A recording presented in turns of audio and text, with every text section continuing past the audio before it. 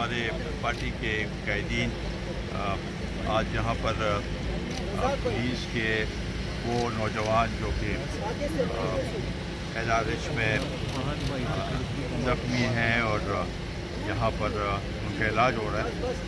उनके इयादत के लिए हम यहाँ पर आए हैं और ये देख के बड़ा सुकून हुआ कि उनके हौसले बुलंद हैं। ये जो वाक़ हुआ, ये जो वाक़ हुआ पुलिस लाइन में बड़ा दर्दनाक और ऐसा वाक़ था कि पूरे कौम को हिला दिया।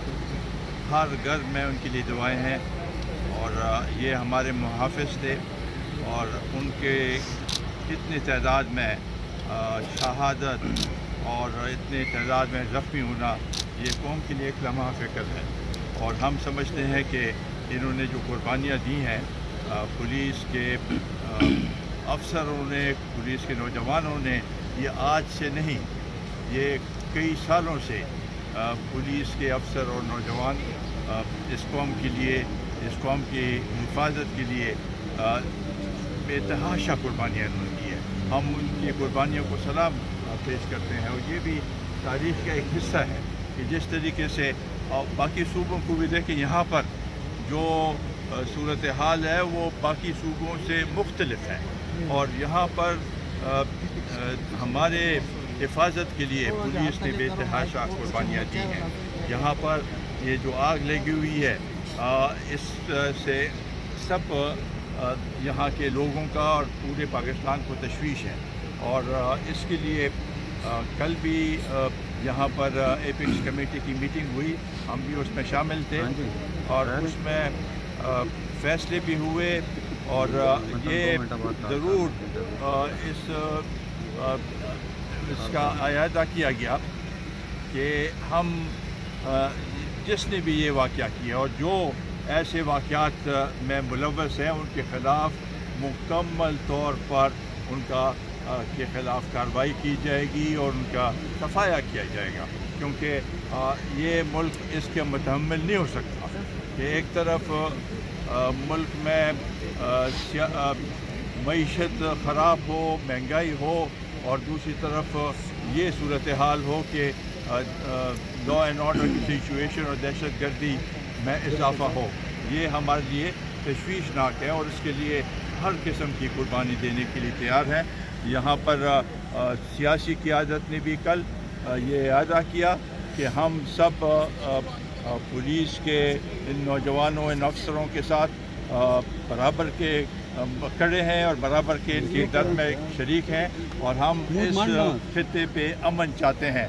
तो इसलिए ये ज़रूरी है कि हम सब मिल के पूरा कौम मिल के इसके इसका डट कर मुकाबला करें।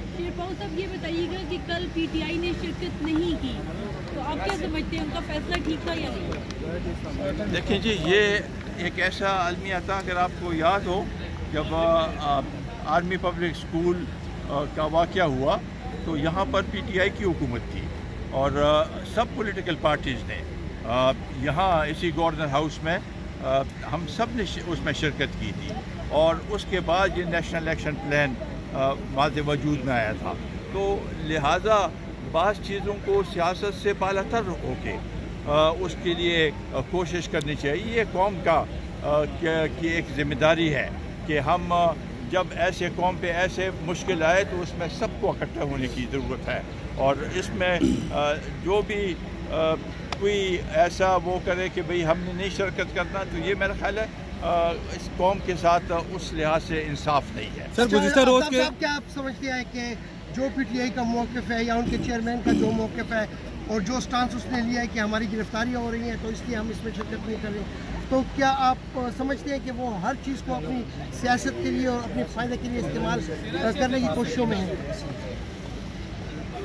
ज़ाहिर तो यही लगता है।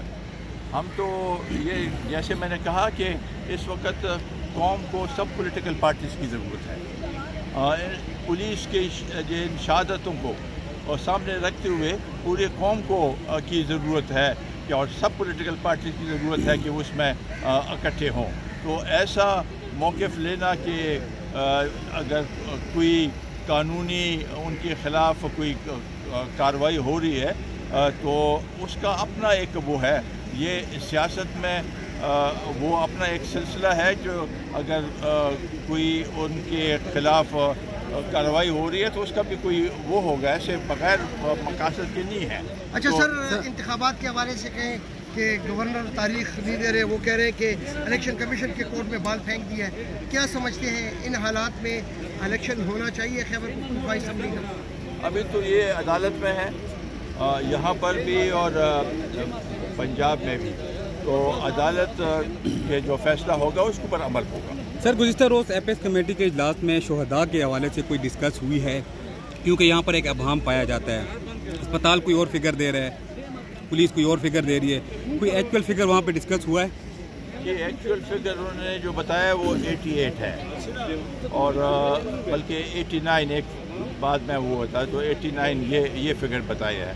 102 103 वाली जो फिगर है वो आईजी ने भी उसकी वो की है कि एक्चुअल फिगर ये है इस वक्त।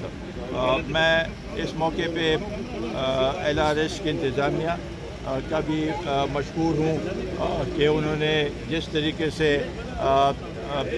इन ज़ख्मियों की खिदमत की है और यहाँ पर दिन रात मैनेजमेंट ने और यहाँ के डॉक्टरों ने, यहाँ के पैरामेडिकल स्टाफ ने जो खिदमत की है, हम उनके बेहद मशहूर है, पूरा कौम उनके मशहूर है कि इन्होंने बेतहाशा खिदमत की है और इसके लिए हम इनको इनका शुक्रिया भी अदाते हैं, इनको भी देते हैं।